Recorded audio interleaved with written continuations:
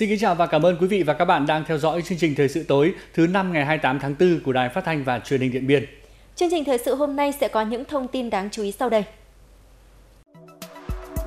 Đoàn công tác của Văn phòng Trung ương Đảng do đồng chí Bùi Văn Thạch, Phó Tránh Văn phòng Trung ương Đảng làm trưởng đoàn, làm việc tại tỉnh Điện Biên.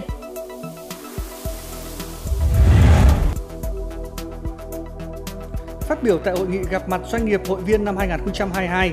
đồng chí Lê Thành Đô, Phó Bí thư tỉnh ủy, Chủ tịch Ủy ban nhân dân tỉnh đề nghị Hiệp hội Doanh nghiệp tỉnh cần tiếp tục phát huy vai trò làm cầu nối giữa doanh nghiệp và cơ quan quản lý nhà nước, từ đó kịp thời giải quyết những khó khăn vướng mắc trong quá trình phát triển cho doanh nghiệp.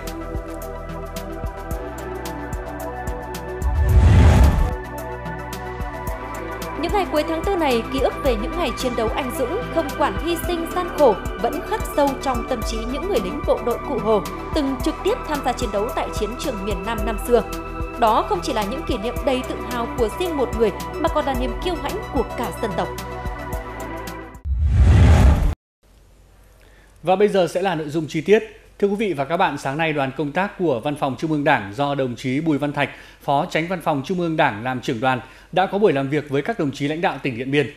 Tiếp và làm việc với đoàn có đồng chí Mùa A Sơn, Phó Bí thư Thường trực tỉnh ủy, đồng chí Lò Văn Mừng, Ủy viên Ban Thường vụ tỉnh ủy, trưởng ban dân vận tỉnh ủy, Chủ tịch Ủy ban Mặt trận Tổ quốc Việt Nam tỉnh. Tại buổi làm việc, đoàn công tác đã nghe khái quát tình hình thực hiện nhiệm vụ phát triển kinh tế xã hội của tỉnh, một số nhiệm vụ trọng tâm trong thời gian tới. Tại buổi làm việc, tỉnh Điện Biên đề nghị Văn phòng Trung ương Đảng quan tâm phối hợp với tỉnh đăng ký báo cáo, trình Bộ Chính trị Ban Bí thư sớm thông qua hai nội dung về đề án kỷ niệm 70 năm chiến thắng Điện Biên Phủ, mùng 7 tháng 5 năm 1954, mùng 7 tháng 5 năm 2024, cho chủ trương định hướng phát triển tỉnh Điện Biên đến năm 2025 và định hướng đến năm 2030. Đồng thời, đề nghị Văn phòng Trung ương Đảng tiếp tục kêu gọi huy động các nguồn lực để hỗ trợ tỉnh thực hiện công tác an sinh xã hội, chăm lo cho người nghèo, góp phần thực hiện mục tiêu giảm nghèo bền vững của tỉnh. Phát biểu tại buổi làm việc, đồng chí Bùi Văn Thạch, Phó Tránh Văn phòng Trung ương Đảng đánh giá cao sự cố gắng và kết quả phát triển kinh tế xã hội của tỉnh trong thời gian qua. Tuy vẫn còn là tỉnh nghèo, nhưng tin tưởng trong những năm tới, tỉnh Điện Biên sẽ tiếp tục phát triển trở thành tỉnh khá trong khu vực. Đối với kiến nghị về đề án kỷ niệm 70 năm chiến thắng Điện Biên Phủ do chưa nằm trong chương trình làm việc của Bộ Chính trị, Ban Bí thư, nên đồng chí đề nghị tỉnh sớm làm công văn gửi Thường trực Ban Bí thư bổ sung vào chương trình làm việc để được thông qua trong thời gian tới. Trước đó đầu giờ sáng nay, đoàn đã đến đặt vòng hoa, dâng hương tưởng niệm canh hùng liệt sĩ tại nghĩa trang liệt sĩ A1 và bàn giao 3 phòng ở bán trú do Văn phòng Trung ương Đảng hỗ trợ trường tiểu học số 2 xã Nà Tấu, thành phố Điện Biên Phủ với tổng trị giá 500 triệu đồng. Chiều ngày 27 tháng 4, đoàn công tác của Văn phòng Trung ương Đảng cũng đã đi khảo sát địa điểm xây trường mầm non và tiểu học tại bản Thẩm Táng, xã Phú Si, huyện Tuần Giáo. Sau khảo sát, đoàn thống nhất thiết kế xây dựng nhà lớp học mầm non 3 phòng, nhà lớp học tiểu học 2 phòng, nhà công vụ 3 phòng, nhà bếp, nhà vệ sinh và các hạng mục phụ trợ với tổng mức đầu tư dự án dự kiến là 5,5 tỷ đồng. Phân đấu hoàn thành đưa vào sử dụng vào đầu năm học 2022-2023. Chiều nay, Hiệp hội Doanh nghiệp tỉnh tổ chức hội nghị gặp mặt doanh nghiệp hội viên năm 2022. Dự hội nghị có đồng chí Lê Thành Đô, Phó Bí thư tỉnh ủy, Chủ tịch Ủy ban nhân dân tỉnh. Hiệp hội Doanh nghiệp tỉnh hiện có 120 hội viên hoạt động trong nhiều lĩnh vực ngành nghề. Từ năm 2021 đến nay, hoạt động sản xuất kinh doanh của cộng đồng doanh nghiệp và hiệp hội phải đối mặt với nhiều khó khăn do dịch Covid-19. Song với tinh thần trách nhiệm, nỗ lực, Hiệp hội đã đồng hành và vận động doanh nghiệp hội viên thực hiện mục tiêu kép vừa phòng chống dịch, vừa bảo đảm sản xuất, tiếp tục ổn định việc làm cho người lao động. Bên cạnh đó, năm qua, Hiệp hội cũng tiếp nhận và tổng hợp gần 80 kiến nghị đề xuất của các doanh nghiệp hội viên về cải cách thủ tục hành chính, đầu tư xây dựng cơ bản để phản ánh với các cơ quan quản lý nhà nước nhằm kịp thời tháo gỡ khó khăn cho doanh nghiệp đồng thời tăng cường làm cầu nối trong hoạt động hỗ trợ tiêu thụ, giới thiệu sản phẩm, triển khai chương trình ưu đãi tín dụng đối với các doanh nghiệp hội viên. Đặc biệt, Hiệp hội cũng quan tâm thực hiện nhiều hoạt động xã hội từ thiện như ủng hộ công tác phòng chống dịch COVID-19, tổ chức chương trình Đông ấm áp, sẻ chia yêu thương. Phát biểu tại hội nghị, đồng chí Lê Thành Đô, Phó Bí thư tỉnh ủy, Chủ tịch Ủy ban nhân dân tỉnh ghi nhận những đóng góp quan trọng của cộng đồng doanh nghiệp trong thực hiện các mục tiêu phát triển kinh tế xã hội của tỉnh và đảm bảo việc làm cho người lao động.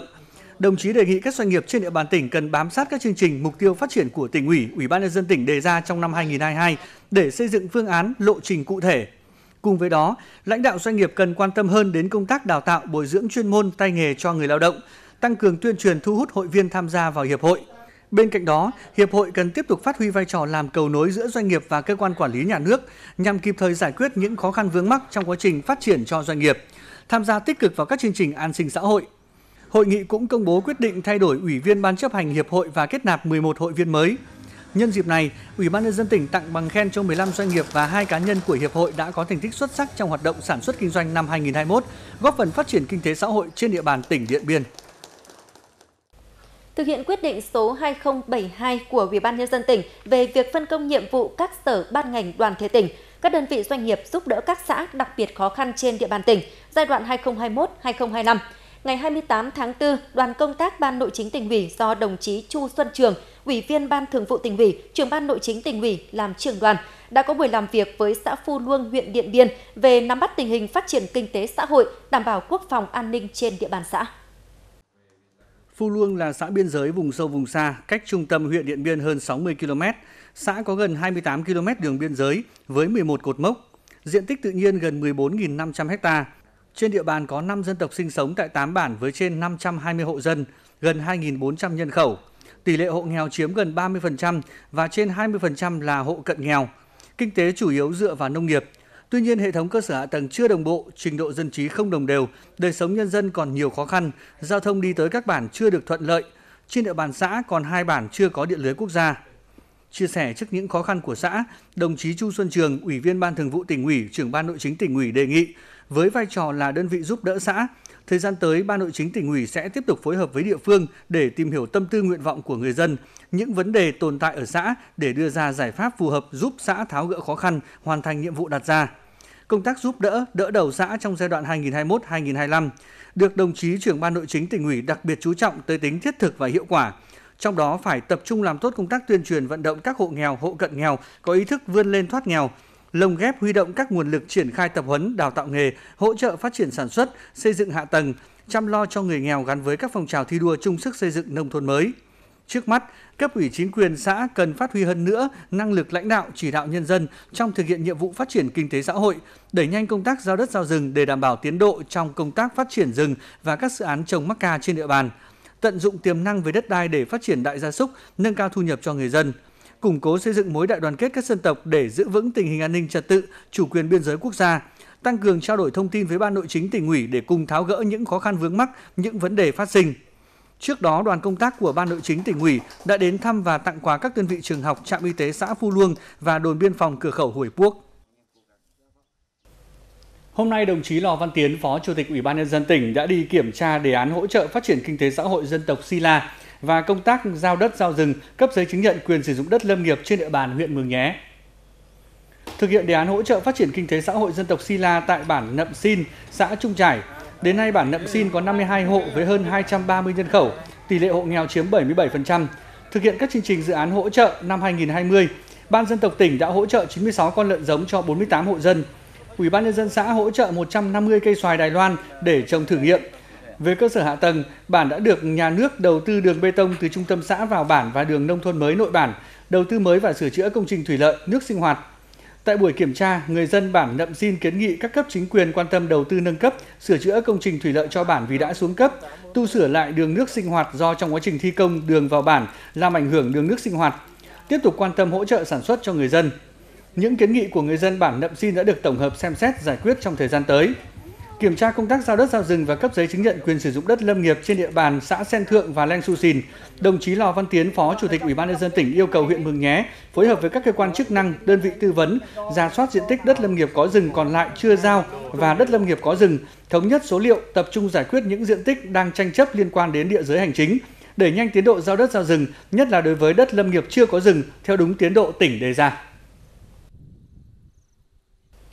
Ngày 28 tháng 4, huyện ủy Nậm Pồ tổ chức hội nghị thực hiện quy trình ra soát, bổ sung quy hoạch ủy viên Ban chấp hành Đảng bộ huyện, Ban thường vụ huyện ủy, chức danh bí thư, phó bí thư huyện ủy, nhiệm kỳ 2020-2025, các chức danh chủ tịch, phó chủ tịch hội đồng nhân dân, ủy ban nhân dân huyện, nhiệm kỳ 2021-2026 và xây dựng quy hoạch cán bộ, nhiệm kỳ 2025-2030 và 2026-2031. Sau khi xem xét danh sách nguồn nhân sự hiện có, căn cứ vào điều kiện tiêu chuẩn đối tượng độ tuổi, cơ cấu, số lượng cán bộ được quy hoạch theo quy định và kết quả giới thiệu biểu quyết tại các hội nghị. Huyện ủy Nậm Pồ đã đưa ra khỏi quy hoạch Ủy viên Ban chấp hành Đảng Bộ huyện nhiệm kỳ 2020-2025 đối với 19 đồng chí, bổ sung 7 đồng chí. Đề nghị đưa ra khỏi quy hoạch Ủy viên Ban Thường vụ huyện ủy 5 đồng chí, bổ sung 3 đồng chí. Đối với quy hoạch cán bộ nhiệm kỳ 2025-2030, giới thiệu quy hoạch Ủy viên Ban chấp hành Đảng bộ huyện gồm 57 đồng chí, đề nghị quy hoạch Ủy viên Ban Thường vụ huyện ủy đối với 14 đồng chí từ nguồn nhân sự tại chỗ. Cùng với đó, tại các hội nghị, các đại biểu đã giới thiệu quy hoạch các chức danh bí thư, phó bí thư huyện ủy nhiệm kỳ 2025-2030 và các chức danh chủ tịch hội đồng nhân dân, ủy ban nhân dân huyện, phó chủ tịch hội đồng nhân dân, ủy ban nhân dân huyện nhiệm kỳ 2026-2031 đảm bảo đúng số lượng, điều kiện, tiêu chuẩn theo quy định. Sáng nay, Ban tuyên giáo Trung ương tổ chức hội nghị trực tuyến toàn quốc tập huấn giao ban công tác giáo dục lý luận chính trị năm 2022. Trong đợt tập huấn này, trên 4.900 đại biểu tham dự hội nghị tại 140 điểm cầu trong cả nước được nghe báo cáo viên truyền đạt những nội dung cơ bản và những điểm mới trong tài liệu, bồi dưỡng nhận thức về Đảng, tài liệu bồi dưỡng lý luận chính trị dành cho đảng viên mới và tài liệu bồi dưỡng công tác Đảng cho bí thư tri bộ và cấp ủy viên ở cơ sở. Hội nghị nhằm trang bị cho đội ngũ cán bộ làm công tác tuyên giáo và các giảng viên giảng dạy lý luận chính trị những kiến thức, kỹ năng, nghiệp vụ công tác thông tin tuyên truyền, công tác giảng dạy lý luận chính trị vận dụng vào bài giảng, qua đó nâng cao trình độ về mọi mặt, đáp ứng yêu cầu nhiệm vụ công tác tư tưởng của Đảng trong tình hình mới. Sau thời gian tập huấn, hội nghị đã tiến hành giao ban đánh giá công tác giáo dục lý luận chính trị, tập trung thảo luận trao đổi về những thuận lợi khó khăn trong công tác giáo dục lý luận chính trị tại các địa phương, cơ sở, từ đó rút kinh nghiệm và bàn giải pháp thực hiện nhiệm vụ trong thời gian tới. Thưa quý vị và các bạn, 47 năm sau ngày giải phóng miền Nam thống nhất đất nước, 30 tháng 4 năm 1975, 30 tháng 4 năm 2022. Những người lính từng trực tiếp tham gia chiến đấu tại chiến trường miền Nam năm xưa giờ đều đã đến tuổi nghỉ ngơi, an hưởng tuổi già. Nhưng với họ, ký ức về những ngày chiến đấu anh dũng, không quản hy sinh gian khổ, vẫn khắc sâu trong tâm trí những người lính bộ đội cụ Hồ. Vâng, những ngày cuối tháng 4 này, ký ức ấy lại ùa về, đầy tự hào, vẻ vang. Nó không chỉ là kỷ niệm đầy tự hào của riêng một người mà còn là niềm kiêu hãnh của cả dân tộc. Tiếp lửa xây dựng bảo vệ Tổ quốc cho các thế hệ người Việt Nam trong hiện tại và tương lai. Những ngày cuối tháng 4 lịch sử, lật dở lại kỷ vật, cầm tấm huân chương kháng chiến hạng nhất được Chủ tịch nước trao tặng ghi công trong kháng chiến chống Mỹ cứu nước. Cựu chiến binh Nguyễn Đức Ban không khỏi xúc động nhớ về những tháng năm ấy. Ông Ban kể, khi đó, ông được biên chế tại sư đoàn 367, quân chủng phòng không không quân với nhiệm vụ chủ yếu là chiến đấu bảo vệ các công trình trọng điểm và tuyến đường mòn Hồ Chí Minh. Chiến trường miền Nam gian khổ, ác liệt nên những người lính như ông khi thực hiện nhiệm vụ luôn xác định việc cận kề cái chết là lẽ thường. Đã khi chiến đấu là gian nan nhất. Kiểu gì thì không mình nó tránh mình, mình không tránh được đã nói câu sản thậm chí đang ăn cơm. Một bữa cơm hai, ba lần để cơm đấy chạy ra, ngồi lên mông pháo đấy, cho nên nó vất vả ở chỗ đấy. Không những ban ngày mà kể cả ban đêm pháo lớn pháo năm, bảy thì chúng tôi cũng bị vừa mới cơ động đến. Thì đã bị nó đến nó đánh rồi mày không qua bị thương, không qua hy sinh. Học mỗi một khẩu pháo dạ. bởi vì nó gian cho mỗi một khu vực, mỗi một địa điểm nó khác nhau. Dòng ký ức về những năm tháng tham gia kháng chiến chống Mỹ cứu nước đối với cựu chiến binh Đặng Xuân Thừa cũng đầy vẻ vang và tự hào. Nhiệm vụ của ông khi đó là tham gia chiến đấu giải phóng Buôn Ma Thuật vào tháng 3 năm 1975. Sau đó, đơn vị của ông tiến vào đóng quân tại tỉnh Đồng Nai để phòng ngự và sẵn sàng chi viện trong trận đột phá cuối cùng. 11 giờ 30 phút ngày 30 tháng 4 năm 1975, cờ giải phóng tung bay trên nóc dinh độc lập, báo hiệu chiến dịch Hồ Chí Minh lịch sử đã toàn thắng. Đối với ông Thừa, thời khắc đó, niềm vui sướng như vỡ òa. Lúc ấy là giải phóng và tôi làm chính trị viên tiểu đoàn thì tôi cảm thấy vô cùng sung sướng nói thật với các anh cái sự hy sinh mất mát của ta rất là lớn lao. Thế thì lúc ấy chúng tôi có cái cảm xúc mà không sợ hy sinh. Làm thế nào thì làm? Động viên là phải quyết tâm giải phóng Sài Gòn phóng miền Nam để giành lại độc lập tự do cho tổ quốc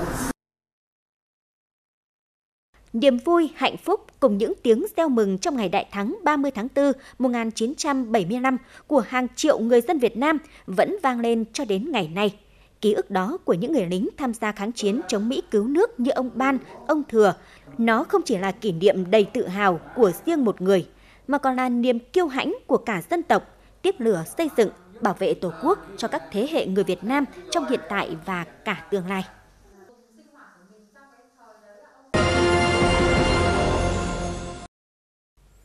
Chương trình tiếp tục với những thông tin khác. Thưa quý vị và các bạn, nhằm chống quá tải hệ thống lưới điện, đảm bảo cung cấp điện an toàn ổn định trong mùa hè nắng nóng, Điện lực thành phố Điện Biên Phủ đã tiến hành đóng điện tại trạm biến áp Pá Luống, xã Thanh Sương, huyện Điện Biên. Trạm biến áp Pá Luống được khởi công xây dựng từ tháng 3 năm 2022, có công suất điện áp 160 kVA, 35 trên 0,4 kV. Đến nay, công trình đã hoàn thành, được nghiệm thu kỹ thuật đảm bảo vận hành và nghiệm thu đấu nối. Trạm biến áp sau khi đi vào hoạt động sẽ đảm bảo cung cấp điện ổn định cho trên 150 hộ dân bản Pá Luống và một số hộ dân bản lân cận nhằm sang tải cho trạm biến áp B135. Công trình sau khi đưa vào vận hành sẽ giúp chống quá tải các khu vực, góp phần nâng cao độ tin cậy trong công tác cung cấp điện cho các phụ tải, đáp ứng tốt nhu cầu phát triển kinh tế xã hội của địa phương, giảm bán kính cắt điện, giảm tổn thất điện năng trên đường dây, đảm bảo vận hành lưới điện an toàn, hiệu quả. Dịp nghỉ lễ 30 tháng 4 và mùng 1 tháng 5 năm nay, cán bộ công nhân viên chức và người lao động sẽ được nghỉ 4 ngày liên tục. Dự kiến sẽ thu hút rất đông khách du lịch đến tham quan lưu trú trên địa bàn tỉnh. Cùng với đó, nhiều sự kiện, điểm vui chơi giải trí và du lịch được tổ chức khiến phụ tải điện dự báo sẽ tăng cao. Do vậy, công ty Điện lực Điện Biên đã tích cực triển khai đồng bộ các giải pháp bảo đảm cấp điện an toàn và ổn định. Để đảm bảo vận hành an toàn hệ thống điện, cung cấp điện ổn định phục vụ các hoạt động chính trị, xã hội, văn hóa trên địa bàn tỉnh trong dịp nghỉ lễ 30 tháng 4 và mùng 1 tháng 5, công ty Điện lực Điện Biên đã chủ động xây dựng kế hoạch chi tiết cụ thể các phương án giảm thiểu sự cố, phương án xử lý nhanh sự cố, hạn chế tối đa thời gian gián đoạn cung cấp điện cho phụ tải, tăng cường sửa chữa, cải tạo lưới điện, vệ sinh, bảo dưỡng thiết bị, phát quang hành lang tuyến, ra soát kiểm tra xử lý các khiếm khuyết của thiết bị tại các trạm biến áp và trên các đường dây, tăng cường bố trí lực lượng ứng trực 24 trên 24 giờ, chuẩn bị đầy đủ vật tư thiết bị dự phòng sẵn sàng xử lý mọi tình huống, đặc biệt là chuẩn bị các phương án cấp điện dự phòng đối với những địa điểm diễn ra các hoạt động chính trị, văn hóa, chào mừng các ngày lễ trên địa bàn tỉnh, bố trí phương án vận hành nguồn lưới điện hợp lý trong điều kiện bình thường và linh hoạt chuyển đổi trong tình huống sự cố. Đến thời điểm này, lưới điện trên địa bàn tỉnh đạt ổn định, đảm bảo cung cấp điện liên tục an toàn trong dịp nghỉ lễ. Ngày 28 tháng 4, Ban đại diện Hội đồng Quản trị Ngân hàng Chính sách Xã hội thành phố Điện Biên Phủ tổ chức hội nghị đánh giá kết quả hoạt động quý 1, triển khai thực hiện nhiệm vụ quý 2 năm 2022. Trong quý 1 năm nay, Ban đại diện Hội đồng Quản trị Ngân hàng Chính sách Xã hội thành phố Điện Biên Phủ đã củng cố kiện toàn tổ chức, tiếp tục quản trị giám sát hoạt động ngân hàng chính sách xã hội, điều chỉnh kịp thời chỉ tiêu kế hoạch tín dụng được giao cho các xã phường. Tính đến nay, tổng nguồn vốn tín dụng đạt trên 236 tỷ đồng, lũy kế doanh số cho vay đạt 13,6 tỷ đồng với 300 lượt hộ, lũy kế doanh số thu nợ từ đầu năm đạt trên 17 tỷ đồng. Tổng dư nợ trên địa bàn đạt trên 232 tỷ đồng, đạt 96,4% kế hoạch năm.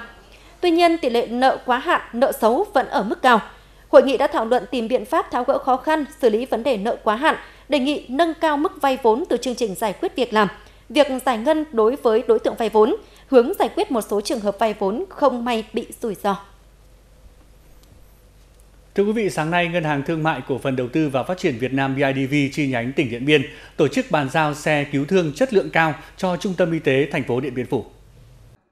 Hướng tới kỷ niệm 65 năm ngày thành lập Ngân hàng BIDV với mong muốn đồng hành, sẻ chia cùng ngành y, Ngân hàng BIDV chi nhánh tỉnh Điện Biên đã tặng một xe cứu thương chất lượng cao nhãn hiệu Toyota trị giá 1,2 tỷ đồng cho Trung tâm Y tế thành phố Điện Biên Phủ. Xe được trang bị đầy đủ các thiết bị cấp cứu hiện đại, cáng cứu thương, bình oxy, máy hút dịch, đây là món quà thể hiện sự sẻ chia của ngân hàng BIDV trước những khó khăn của đội ngũ y bác sĩ, chung tay cùng địa phương cải thiện cơ sở vật chất khám chữa bệnh, nâng cao chất lượng chăm sóc sức khỏe cho người dân tỉnh Điện Biên và phục vụ công tác phòng chống dịch COVID-19 của tỉnh. Thưa quý vị và các bạn, Trường phổ thông dân tộc nội trú tỉnh tiền thân là khu ký túc xá Châu Mường Lay và được thành lập từ tháng 11 năm 1956. Trải qua 66 năm xây dựng và trưởng thành, đến nay trường phổ thông dân tộc nội trú tỉnh đã trở thành một trong những cánh chim đầu đàn trong khối các trường trung học phổ thông trên địa bàn tỉnh. Vâng, và với những kết quả đạt được trong chặng đường 66 năm qua, trường phổ thông dân tộc nội trú tỉnh sẽ tiếp tục vững bước trèo lái con đò tri thức để đơm hoa kết trái, đưa các em đến những bến bờ thành công và tạo nguồn nhân lực là người dân tộc thiểu số có chất lượng cao cho tỉnh. Với nhiệm vụ giáo dục và đào tạo, nuôi dưỡng học sinh dân tộc nội trú hoàn thành chương trình giáo dục trung học phổ thông, tăng cường nguồn nhân lực có chất lượng cho các xã, huyện, cũng như tạo nguồn cán bộ là người dân tộc thiểu số cho tỉnh. Trong suốt chặng đường 66 năm qua, trường phổ thông dân tộc nội trú tỉnh Điện Biên đã không ngừng nỗ lực vượt qua những khó khăn để vươn lên trở thành một trong những cánh chim đầu đàn khối các trường trung học phổ thông của tỉnh. Có được kết quả như ngày hôm nay, tập thể ban giám hiệu và hội đồng sư phạm nhà trường luôn đề ra nhiều giải pháp phù hợp để nâng cao chất lượng dạy và học cũng như công tác giáo dục toàn diện cho học sinh. À, trường dân tộc nội trú tỉnh là một trường đặc thù, à, trường được thành lập để tạo nguồn đào tạo cán bộ người dân tộc thiểu số có chất lượng cao cho tỉnh và cho đất nước. Thì trong uh, suốt 66 năm xây dựng phát triển và trưởng thành, nhà trường đã đào tạo được lớp lớp các thế hệ học sinh đang ờ, công tác và giữ các vị trí trọng trách của Đảng, Nhà nước cũng như là trong và ngoài tỉnh. Ờ, ghi nhận những thành tích mà thầy và trò nhà trường đã đạt được trong suốt 66 năm vừa qua. Nhà trường đã được Đảng, Nhà nước tặng thưởng huân chương lao động hạng nhất, nhì, ba, được tặng thưởng danh hiệu anh hùng lao động thời kỳ đổi mới. Và năm 2022, nhà trường vinh dự được Chủ tịch nước Cộng hòa chủ nghĩa Việt Nam tặng thưởng huân chương độc lập hạng 3. Đây là sự ghi nhận những thành tích mà thầy và trò trường dân tộc nội chú tỉnh đã đóng góp về xây dựng về giáo dục vùng cao của tỉnh Điện Biên. Thầy giáo Trần Mạnh Hồng cũng như nhiều thế hệ cán bộ giáo viên công tác tại trường. Từ khi gắn bó với ngôi trường này, bản thân thầy Hồng luôn cùng với tập thể cán bộ giáo viên nhà trường chăm lo dạy dỗ học sinh, vun đắp, xây dựng mái trường phổ thông dân tộc nội trú ngày một phát triển. À, là một giáo viên à, gắn bó gần 22 năm với mái trường nội trú tỉnh và bản thân tôi cùng với lại cán bộ, giáo viên, nhân viên Ờ, luôn xây dựng nhà trường ờ, đoàn kết, ờ, vững mạnh, luôn quan tâm đến đời sống vật chất tinh thần cho cán bộ, giáo viên, nhân viên và học sinh, xây dựng tập thể trường phổ thông dân tộc nội trú tỉnh trở thành một điểm sáng trong công tác giáo dục dân tộc của tỉnh Điện Biên. Song song với công tác giáo dục đào tạo kiến thức, nhà trường còn luôn quan tâm giáo dục truyền thống cho các em, giúp các em hiểu và thấy được những chặng đường vẻ vang mà các thế hệ giáo viên học sinh đã vun đắp xây dựng – Chính vì vậy, khi được trở thành học sinh học tập sinh sống dưới mái trường dân tộc nội trú này, nhiều em rất xúc động và coi đây là ngôi nhà thân thương thứ hai của mình. Ờ, đối với em thì ờ, được thi đỗ và học tập tại trường phổ thông dân tộc nội trú tỉnh Điện Biên đã là một điều vô cùng may mắn. Ờ, em luôn dành những cái tình cảm mà thân thiết nhất đối với mái trường của mình, với thầy cô, bạn bè và các cô chú cán bộ công nhân viên. Ờ, qua 3 năm gắn bó thì em thấy trường phổ thông dân tộc nội trú tỉnh Điện Biên là một môi trường rất tốt với bề dày thành tích ờ, được gây dựng qua nhiều thế hệ. Nhà trường thì ờ, luôn tạo điều kiện tốt nhất để chúng em học tập và vui chơi. Ờ, và năm nay thì cũng em đã là học sinh cuối cấp và sắp phải rời xa mái trường. Em Em hy vọng là các thế hệ sau và sau nữa của trường nội trú tỉnh sẽ giữ mãi những truyền thống, ờ, phát huy truyền thống tốt đẹp của nhà trường và ờ, nội trú tỉnh sẽ luôn ở trong tim em ạ. Với những kết quả đạt được trong chặng đường 66 năm qua, trường phổ thông dân tộc nội trú tỉnh Điện Biên sẽ tiếp tục vững bước trèo lái con đỏ tri thức để đâm hoa kết trái, đưa các em đến với những bến bờ thành công và tạo nguồn nhân lực là người dân tộc thiểu số có chất lượng cao cho tỉnh.